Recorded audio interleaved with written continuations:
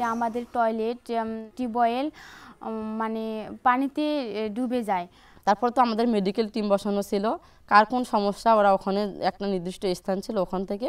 ওদের সমস্যা বেশিরভাগ দেখা দিয়েছিল। সবাই বলছে যে জ্বর, মাথা ব্যথা, পায়ে ঘা, হাতে খা মানে পানি থাকতে থাকতে ওদের এই অবস্থা। সমস্যা আরেকটা হয়েছিল যেটা বন্যার কারণে যে রোগ জীবাণুগুলো ছড়ায়, অর্থাৎ ডায়রিয়া, কলেরা, জন্ডিস, এই রোগগুলো হয়, সে, সেটা আমার বাস্তব প্রমাণ, আমার জীবনে এই গত ষোলো সালের বন্যাও আমার উপরে এই প্রভাবটা পড়েছে।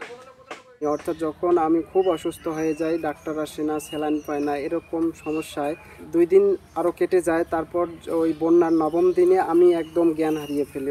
বন্যার পানিতে আমাদের আরও নানা ধরনের সমস্যা হয়েছিল। যেমন আমাদের ছোট ভাই বোনেদেরকে নিয়ে বেশি সমস্যা হয়েছিল। কারণ ওরা তো বুঝতে পারে না যে পানিতে নামলে আমরা কি, আমাদের কি হবে? ওরা তো এগুলো বুঝতে পারেনি। তাই ওদেরকে আমরা মানে সতর্ক রাখছিলাম। তো রাখার পরে ওরা পানিতে ভিজছিল। ভিজার পরে ওদের নানা ধরনের রোগ হতো। তখন আমার বাচ্চার ডায়রিয়া দেখা দেয় এবং সেই ডায়রিয়াতে তখন রাস্তাঘাট তখন ভেঙে যায়। হাসপাতালে যাওয়ার কোনো অবস্থা ছিল না। বন্যার পরে যে সমস্ত রোগ দেখা যায় তার মধ্যে ডায়রিয়া কলেরা আমাশা চর্মরোগ খুব বেশি পরিমাণ দেখা যায়। তারা ঠিকভাবে বাড়িতে বাড়াতে পারে না রাস্তাঘাট নষ্ট হয়ে যায়।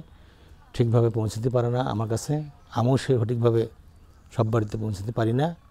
বিধায়। ডাক্তারকে যখন বলে এবং আমাদের গ্রামের কথা যখন বলে তখন কোনো ডাক্তারই আসতে চায় না কারণ সেখানে তিন কিলোমিটার পানি বেয়েই পথ চলতে হবে।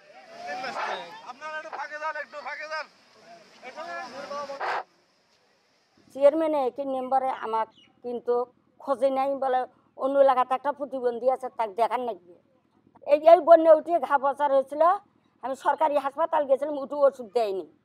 আমাকে ঘা পচরাগুলো আমার এখনও ভালো হয়নি কিন্তু। পয়সা পাতি নেই, আমি কে কে কেমনি ঢালবো, কেমনি বড় ডাক্তারের কাছে যাব? পর একজন ডাক্তারকে অনেক আকতি মিনতি করার পর আমার বাবা নিয়ে আসছিল এবং আসার পরে তার সাথে চুক্তি হয়েছিল যে সে পানিতে নামবে না, অর্থাৎ তাকে শুকনো অবস্থায় রাখতে হবে, সেটা নৌকাতে হোক বা ভেলাতে হোক বা যে কোনোভাবেই হোক। ভেলা একটা তৈরি করে আমার বাবা। তৈরি করার পর সেখানে আমার ছোট ভাই এবং আমার বাবা সেই ডাক্তারকে সেই ভেলায় করে তুলে নেয় এবং আমার ছোট ভাই সেই ভেলাটা টেনে টেনে নিয়ে আমার বাড়ি পর্যন্ত এসেছিল। এভাবে আমরা ডাক্তারকে আনছিলাম। আবার আমরা ভালোভাবে চিকিৎসা নিতে পারিনি। পরে আমার বাবা ভেলায় করে ভেলায় উপরে চলে যায় যারা ও ডাক্তারের কাছে কিছু ওষুধ নিয়ে এসে তারপরে সেই স্যালাইন পাঁচ দিন সাত দিন পরে যখন যে স্যালাইন পাই ওই স্যালাইন দিয়ে আর কি আমি তখন আমার বাচ্চার তখন প্রাণ বাঁচাই। তারপরে পানিতে হচ্ছে বিশুদ্ধ পানিও তো পাওয়া যায়নি হ্যালোজেন ট্যাবলেট ব্যবহার করা হয়েছে। তারপরে হচ্ছে যাদের টিউবওয়েল একটু উঁচুতে ছিল তাদের টিউবওয়েল থেকে আমরা পানি সংগ্রহ করছি। এভাবেই আর কি অনেক কষ্ট করছি আর কি। মানে ঘরে বাইরে ঘরের ভিতরে পানি ওঠে তখন আমাদের অনেক কাজ করতে হয়। তখন আমরা তো এক কোমর পানি ভেঙে ভেঙে কাজ করি। তখন দেখা যায় যে মিন্সগুলো আমাদের সমস্যা হয়।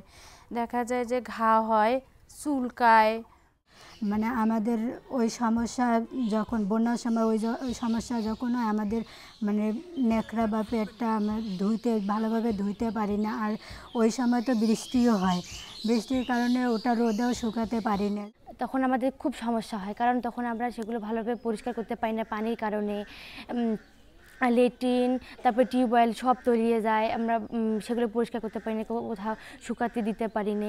তার আগে থেকে ধরেন ডেটল, সাবান, হুইল পাউডার, তারপর হচ্ছে বালতি, প্যাড, পেন্টি, এগুলো যদি আমাদের আগে থেকেই দেয় তাহলে আমরা বন্যার সময় আমাদের উপকার হবে। বন্যার পরবর্তীতে জরুরি ভিত্তিক মেডিকেল টিম, ওষুধপত্র এবং ডায়রিয়া, কলেরা আমাশার পানিবাহিত ব্যাধির রোগ, রোগের ওষুধপত্রগুলো তাড়াতাড়ি পৌঁছানোর জন্য আমি মানে বলতেছি আর কি। এখানে যে মেডিকেল টিমগুলো আছে, তারা পর্যাপ্ত নয়। হয়তো দশ দিন, সাত দিন পর একটা এলাকায় বসে, সেখানে সঠিকভাবে তারা চিকিৎসা সেবা দিতে পারে না।